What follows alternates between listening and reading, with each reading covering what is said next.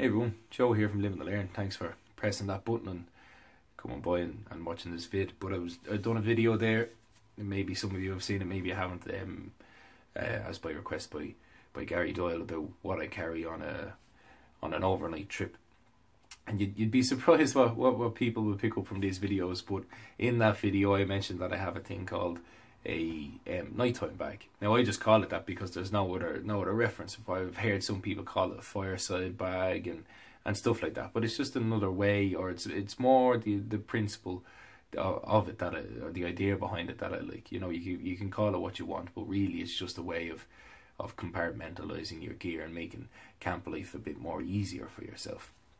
Now, I started off camping hammocking and stuff like that, and usually sometimes hammocks can keep you pretty pretty far away from the fire. And then even when you when you bed sometimes if you're at a communal camp, you don't always want to be eh, directly at the fire because people can be staying up late and having chats and stuff. So you might be a bit further off from the main camp. So over the course of of a year or two, I kind of took notes because I had anybody who's camped with me knows that I, well anybody who kind of camps, you don't want to be losing gear. Um, you know, bringing stuff back and forth to the fire, you're taking stuff out to cook and having to go back to your bag and stuff like that. So, um, come dusk or when dusk starts to fall, um, what I start to do, and anybody who's camped with me can would vouch for this, but I start to gather up kind of all non-essential pieces of kit because you know after dark you shouldn't really be working with any of your tools and you know mealtime should have come and gone by then. So I start I clean up and pack away my cooking gear and I, I put away my tools and stuff and start getting comfy. Of course I'll always have my knife on my hip but I put away my axes I put away my saws make sure my bedroll and all that is all sorted out. And then what I do is I take out my nighttime kit or my fireside kit and I carry it over to the fireplace with me. And it means that I don't have to make. Now I have it all carabiner together because that's just how I like it. Again, I don't like stuff going missing. I just clip this carabiner off and I would put it in my pocket, depending again on the activity you're doing. But what I have here is basically I would have a liter of water. I don't eh, usually imbibe alcohol, if I'm doing you can replace this with alcohol. But I have a liter of liter of water here. I have my head torch, and then I got my bits and bobs that I don't want to go rooting in my bag for.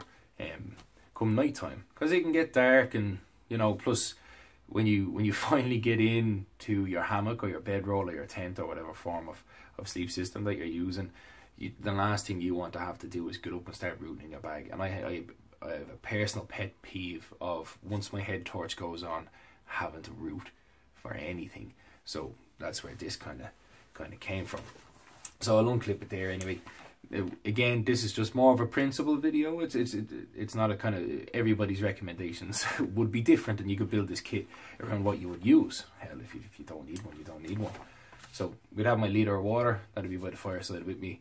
That means I don't have to go looking for it then we would have my head torch and once I put that on my head you might see in my other video it's the Nite Ize STS I can just put the bag into this but in here I just keep stuff that I don't want to have to go rooting for.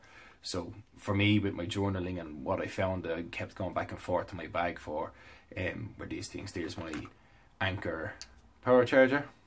Shout out to Guy Wilmot was asking about these yesterday. I'm not a reviewer but that's that's the one I have. I keep it in here. So if I'm sitting by the fire, I want to charge my phone. Um, I find that you know when I get into my bedroll at night, sometimes I like to look at videos I've made over the course of the day. So I'll just stick my phone on charge. Again, don't have to go rooting for it. Some mouthwash kind of goes without saying. I have some wipes for um, cleaning my hands off before I get into bed. I'm a big stickler for for kind of clean hands. Some toothpaste I have a light diffuser. This is what I use for my TrueNite T10. They come with this as standard. It's uh, the torch itself is about 150 lumens, but it's um, it's a great way, especially if you're tenting and stuff like that. I have a tent that has a special kind of place where you can hang your torch with a diffuser, turn it on. Saves me having to go rooting for it. It's a it's an easily lost item, and I've lost more than one of these. So I kind of keep that handy my toothbrush. Again, this kind of does me in the morning as well. So when I wake up, it's kind of one place. And um, moisturizer. I have to actually throw that out. That's an old tube of toothpaste.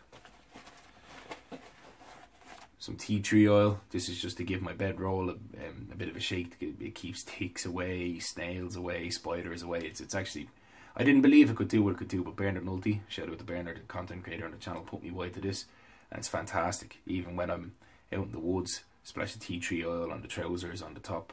It, I'm not saying it stops, but it helps really prevent those nasty critters. Some chapstick, an eye mask, and then I keep basically a gaggle of of earplugs. I don't know if you'll see them in there, but I'm. Um, some people go out to the woods to wake up in the woods, and I think that's fantastic. You know, they they love waking up, being outside. But me personally, I love going to sleep outside. That's one of my favorite things to do. Is when you get into your your bedroll or your hammock and, and you're getting to sit there, you're listening to the crackling of the fire, you're listening to your your, your friends having a laugh and a joke and just the ambience of being outside. But sometimes you can be at a camp where that ambience can turn into 2 a.m. ambience and 3 a.m. ambience, and, and I personally can't uh, I can't sleep like that. Or you could be sharing um, a tarp with a with a few other guys, or being in close proximity with a few other guys who tend to be snorers. Hell, we all snore. So I've always find that I'm missing these. So I literally just threw about 20 of them in there, and I always kind of have them with me.